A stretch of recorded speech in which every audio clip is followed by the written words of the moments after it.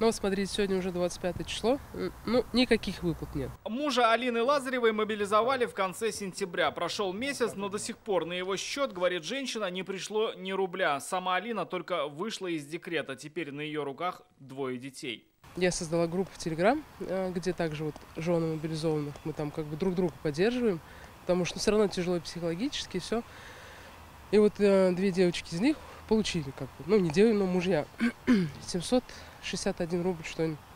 Ну, я говорю, ты им хотя бы что-то пришло. Муж Алины проходил боевое слаживание в Казани. Начало занятий и тренировок, по словам женщины, пришлось на конец сентября, начало октября. Неделю назад президент страны заявил о выплатах в 195 тысяч каждому мобилизованному. Сегодня мною подписано поручение о неукоснительном соблюдении установленных сроков и размеров выплат.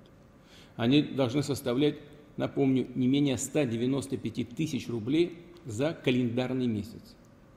Особо подчеркну, включая период подготовки и обучения личного состава. Накануне на совещании Михаил Мишустин сообщил, в зависимости от звания военнослужащего предусмотрены повышенные оклады и все средства уже доведены до Министерства обороны. И все средства своевременно доведены до Министерства обороны. Мы держим это на контроле.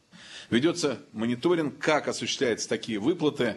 Этим а, в рамках а, рабочей группы Координационного совета занимается Министерство финансов совместно с Министерством обороны. У жен мобилизованных логичные вопросы, когда и как к ним придут деньги. Мужа мобилизовали до 27 числа, и то выплаты пришли.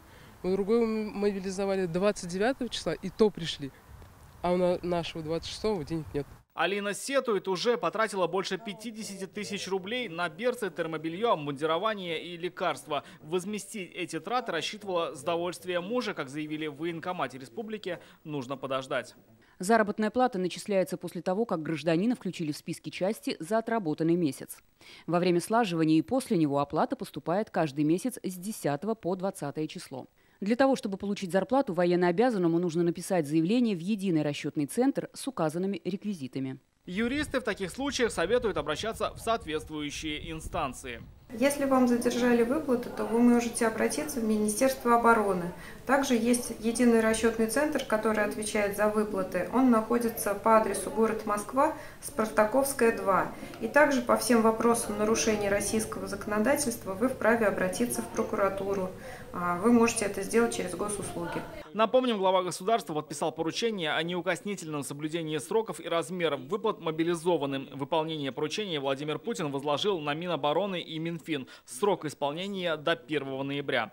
По всем дополнительным вопросам можно звонить на горячую линию Единого расчетного центра Министерства обороны России. Ее номер 8 800 737 77 37. Рамиль Шайдулин, Олег Мельников, ТНВ, Казань.